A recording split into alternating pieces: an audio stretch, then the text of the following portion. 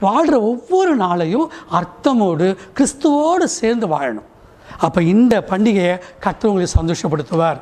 நல்ல ஆகாரங்களை கொடுப்பார். நல்ல துணிமணிகளை வஸ்திரங்களை கொடுப்பார்.